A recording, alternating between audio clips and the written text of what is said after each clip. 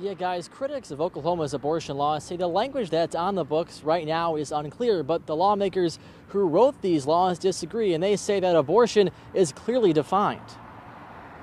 There are a ton of potential unintended consequences to these provisions. State Democrats and the ACLU argue the recent overturning of Roe v. Wade and the laws Oklahoma had already passed could lead to more bans absolutely all contraceptives, including um, the Plan B or morning after pill, are on the chopping block as well. And we know that because that's what we've seen in other states. And we don't know where it ends. But the authors of the legislation are insistent their goal is to only restrict abortions that are done intentionally, unless the mother's life is at risk. You cannot have uh, perform an abortion in Oklahoma unless it's to save the life of the mother. Just like the law was before 1973, it's, it's reverted to that and it is fully enforceable. Opponents argue abortion bills lead to a slippery slope, but Senator Greg Treat rejects that argument. Treat taking to Twitter on Saturday, writing that IVF treatments, contraceptives, and removal of an ectopic pregnancy remain legal.